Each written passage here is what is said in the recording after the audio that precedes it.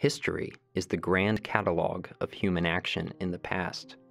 At its broadest, it encompasses everything that everyone everywhere has ever done. And no doubt this makes for a large subject. Few historians, however, practice the biggest history there is. Rather, we tunnel down, often as far as we can go. We follow the lives of individuals and groups in usually very specific time periods. But at the root of it all, whatever the subject matter, there is human action. The constant stream of choices made by historical actors are the fundamental building blocks of larger narratives. This is Liberty Chronicles, a project of libertarianism.org. I'm Anthony Comegna.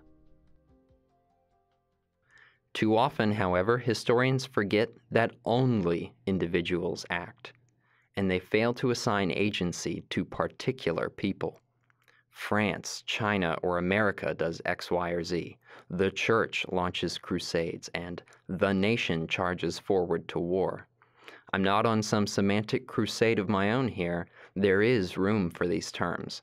But we have to pair our use of collectives with a more fundamental practice of methodological individualism. Only individuals have ever acted, and for every action there was someone or several someones responsible. If all history is about individual actions, and all individual actions are based on some sort of perceived self interest on the part of the actor, one may conclude that chronicles of an historical actor's life would reveal patterns about how they expected to fulfill those interests. Over days and weeks, we make perhaps millions of economizing decisions, many of which are social in nature and include one or more other individuals. Each person who willingly associates with the group does so because they prefer participation to non participation. Individual interests are served by creating and supporting some sort of group interest through which each person involved can benefit from the coordination.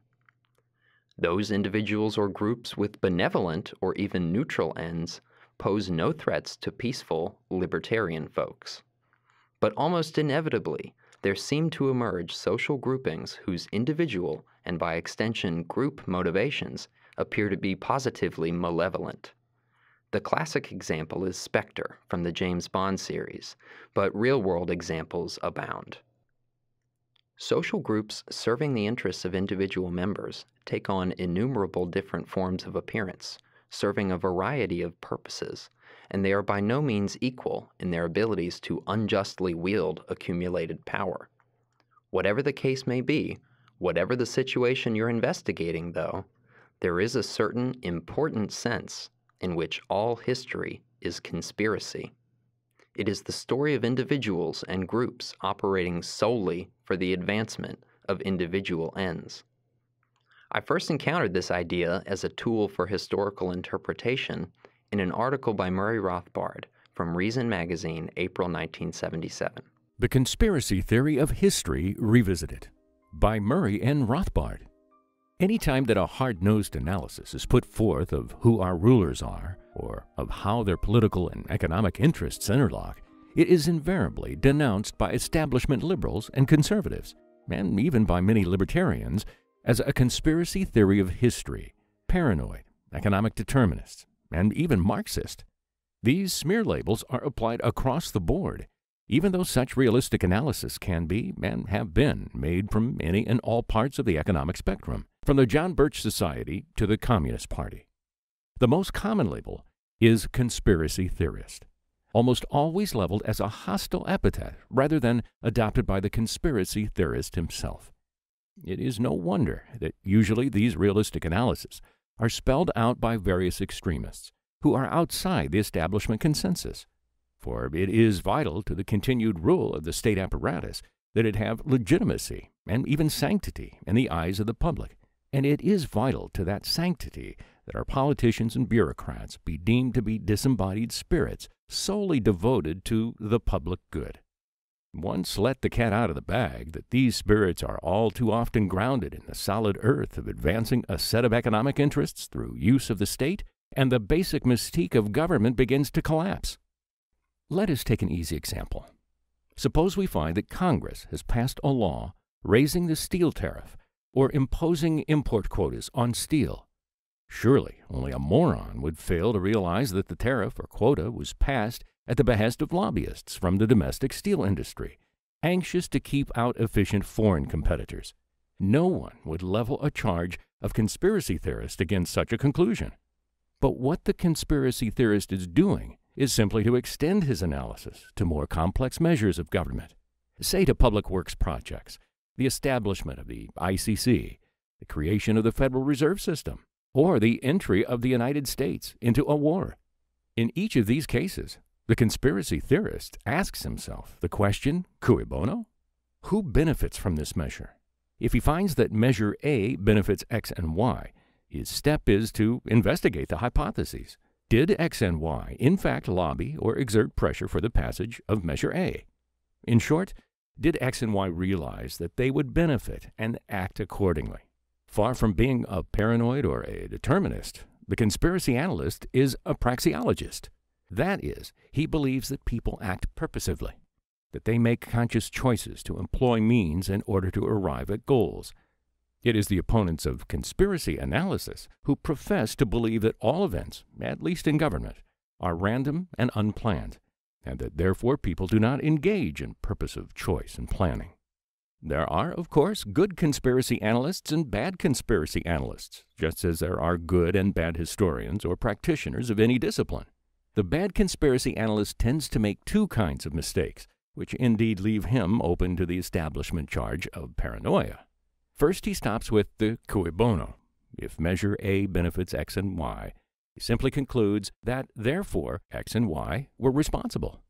He fails to realize that this is just a hypothesis and must be verified by finding out whether or not X and Y really did so. Secondly, the bad conspiracy analyst seems to have a compulsion to wrap up all the conspiracies, all the bad guy power blocks, into one giant conspiracy. Instead of seeing that there are several power blocks trying to gain control of government, sometimes in conflict and sometimes in alliance, he has to assume, again without evidence, that a small group of men controls them all and only seems to send them into conflict. These reflections are prompted by the almost blatant fact, so blatant as to be remarked on by the major news weeklies, that virtually the entire top leadership of the new Carter administration, from Carter and Mondale on down, are members of the small, semi secret Trilateral Commission, founded by David Rockefeller in 1973 to propose policies for the United States, Western Europe, and Japan, and or members of the board of the Rockefeller Foundation. The rest are tied in with Atlanta corporate interests, and especially the Coca Cola Company, Georgia's major corporation. How do we look at all this?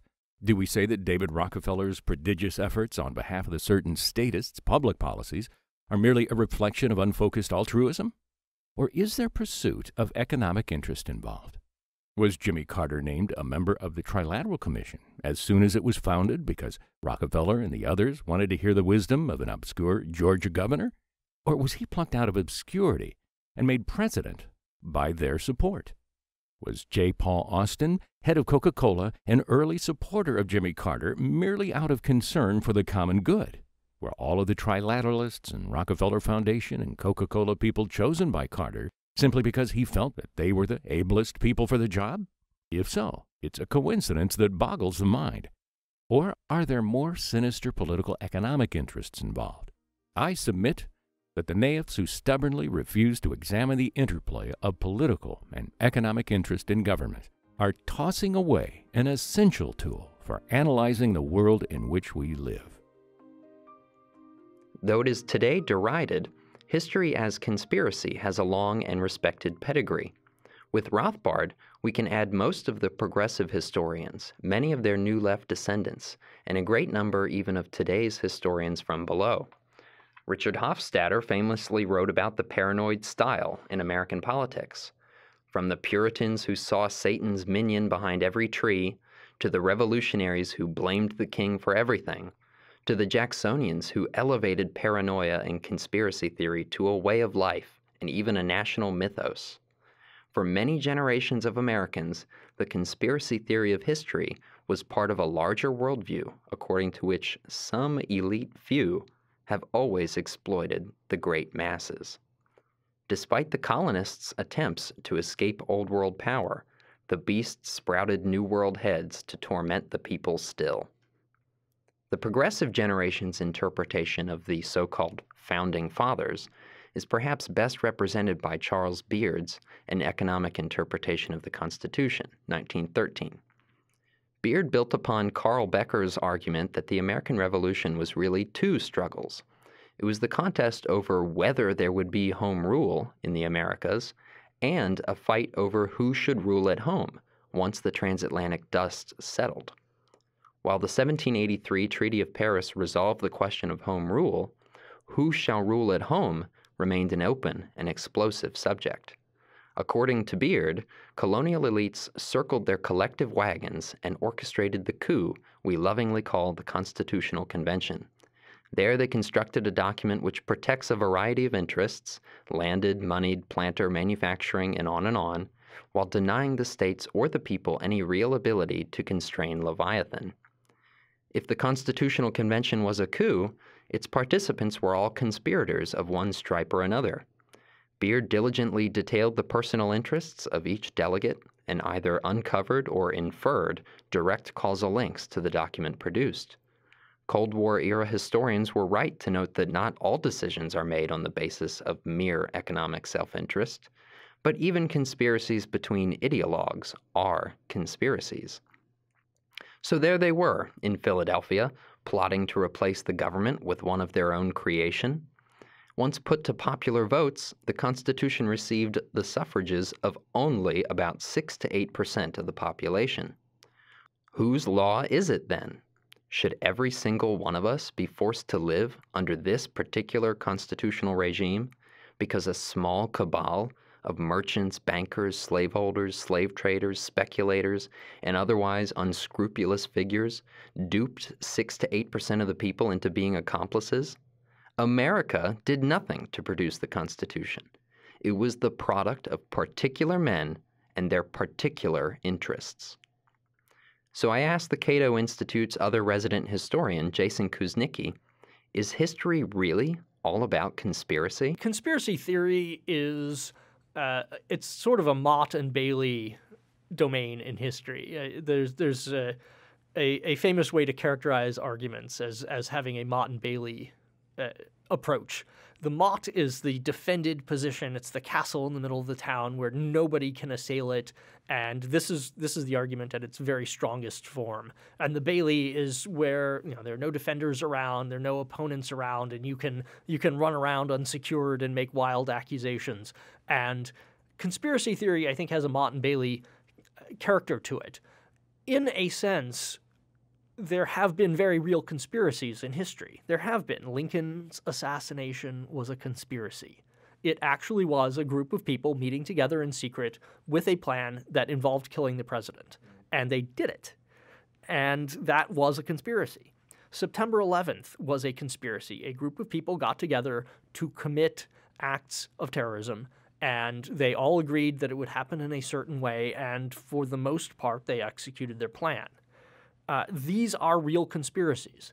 Now, there are other conspiracies that are much less real, that the CIA is using mind control uh, by way of cell phone towers or fluoride in the drinking water or whatever. And and this is the Bailey of conspiracy theories. Yeah, you you can you can begin with the observation that conspiracies have happened, which is true and unassailable, and then you can progress from there to increasingly wild and unsupported conspiracies that are are less and less and less credible. And and it's not necessarily clear, by the way, where where the the Motte ends and the Bailey begins, if you will, because because there are some conspiracy theories that uh, have varying degrees of plausibility to them. So is Vladimir Putin assassinating his political rivals? Well, yeah, it really, really looks that way even if in every single case we don't necessarily have all of the evidence that we might need to convict him in an American court, it still looks like he's doing it. And you know that's that's relatively plausible, but it's not as well evidenced as, say, the Lincoln assassination. So, have you encountered in your personal research any conspiracy theories that were, you know, the real classic smoke filled room, you know, or scheming court aristocrat style conspiracy? Well, one of one of my favorites is an old classic, which is that Thomas Jefferson and his Freemason associates planned the French Revolution and caused it to happen. And what makes this one very interesting is that there is a kernel of truth to it no matter how much you want to deny it. There were, in fact, Freemasons who were very active in the French Revolution, and they were some of the key players in the revolution. Lafayette was a Freemason, Jefferson himself was a Freemason. And can you say that they they planned the French Revolution? Well, Lafayette was one of the key players in the French Revolution. So in a sense, yes. But were they really pulling all the strings? Were they the ones who made it happen in all of its particulars? That's impossible to say. I mean, you cannot say that. That's completely unfounded. Uh, if it were not for the ordinary people of Paris, if it were not for the ordinary people of the countryside, the French Revolution would not have happened. It would have been crushed, and it would have been remembered as a a momentary uh, incident. It would not have been remembered as this great world-changing event, which it actually was. So. Yes, there was a Masonic element to the French Revolution. That's well evidenced. That's undeniable. But did the Freemasons get together and say, "Hey, we're going to have a revolution. It's going to be in France. This is what's going to happen." No, that that is not supportable. What I hear you saying is that tens of thousands of average French men and women were also devil worshipping Luciferian communists. Is that is that correct? No, they were hungry, they were scared, they were tired of being oppressed. They had they had political ideas which historians still debate uh, the degree to which the Enlightenment had percolated down to the ordinary people, but they had political ideas that were in many senses new and they wanted to act on them. And it was a big, messy, complicated thing. As I often say about history, there are few truly world changing events like the French Revolution that don't arise from multiple causes. And the French Revolution certainly did. It had lots of different causes. Catherine Williams was one of many women historians writing for a popular audience in the Jacksonian era. Among her many volumes with an historical cast is The Neutral French, or The Exiles of Nova Scotia, 1841. As was the style at the time, Williams blamed Great Britain and diplomatic court intrigue for the French Revolution and an unknowable number of other historical events.